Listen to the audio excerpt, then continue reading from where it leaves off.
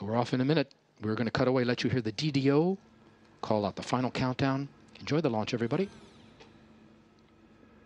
À tous de DDO, attention pour le décompte final.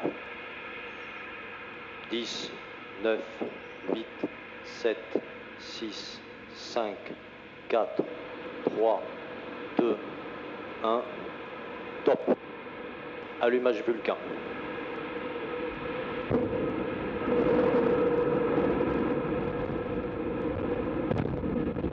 Allumage EAP, décollage.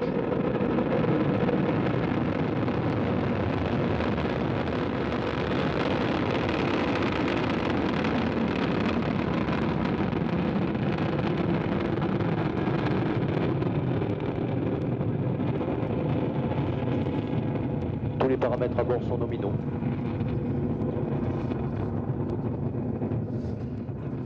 And so we are underway. Did you see at 1852 local time and right on time, Ariane 5 began her mission, lifting off beautifully, showing a lot of power right from the ground here in French Guiana with a lot of fire, beginning her second mission of the year, the 20-ton ATV going to the International Space Station. Beautiful shots, always impressive for the people at the observation sites around the base, in their cars or on the beaches, Ariane lifting off in her trail of gold. She's making a turn now. She's going to pass overhead we're about 15 kilometers from a launch pad, and even here you can still feel the sensation of launch. But if you're watching from our closest viewing station, which is only 5 kilometers away, you can really experience that sensation of the acoustic noise from those two solid rocket boosters as they provide, right now, 90% of a thrust, propelling the launch along its trajectory at ever higher velocity. It really is quite sensational to witness there in Toucan. How many uh, launches have you witnessed? I've been fortunate to witness two from there. Plus tonight. Plus tonight from here. 777 tons is Ariane's weight at liftoff. The DDO is saying that everything is okay on board. She's burning, if you can believe it, five tons of fuel every second. Five tons of fuel every second. 2.5 tons in each booster, plus the core stage, the lower stage burning another 300 kilos per second. The launcher now following the program in the onboard computer, which gives all the orders, including stage separations, which we'll soon begin to see. We are in the first of four flight phases. We'll describe each in turn so you can follow Ariane.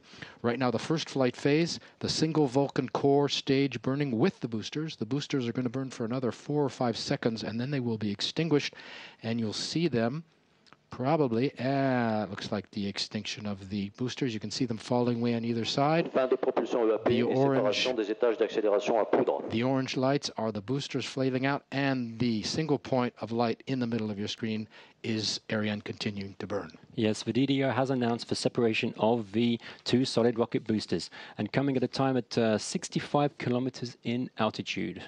Take a look, Simon, at the left side of your screen. On the upper left, you have the cursor crawling up a line. Below that, some letters and some numbers, A and V. Can you explain? Yes, uh, so looking at the screen, this is Ariane's trajectory.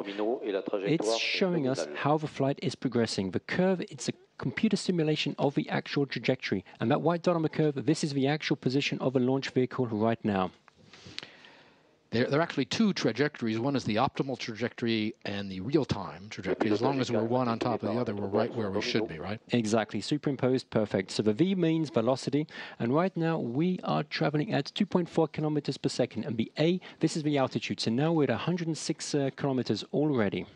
We're out of the Earth's atmosphere, or will be shortly, which means the fairing can be jettisoned. There it is, coming right on time at about 110 kilos. We're using a new fairing separation system tonight, aren't we? That's right. Uh, and in the past few years, RUAG Space in Switzerland, the Ariane 5 fairing manufacturer, they have been developing a new system to support the fairing separation event. In this new system, with the aid of pyrotechnics, the fairing first separates from the Ariane uh, around its uh, circular base. Happens very, very quickly, Very it? quickly indeed. 56 uh, milliseconds to be precise. And during this time, the separation, it's aided by a series of of uh, very precisely tuned springs around the body of Ariane.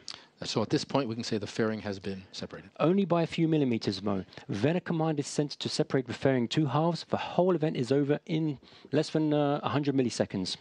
Now, they wanted also a new design, a shock reduction system, a low shock very, yes, uh, exactly. The, the, whole concept, this endeavors to minimize the shock environment transmitted to the Ariane's passengers. Today, it's the first mission of this system, so uh, a special hello to the whole work team in Switzerland. The new shock reduction system was five years in the making.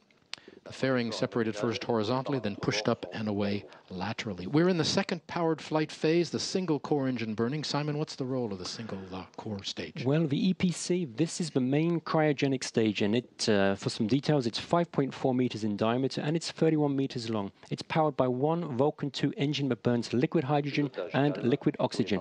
The Vulcan 2 engine provides up to 1,400,000 newtons of thrust in the vacuum of space, and its nozzle, it's uh, it's gimbaled to, to provide uh, pitch and yaw pitch and yaw control for the uh, for the Ariane vehicle.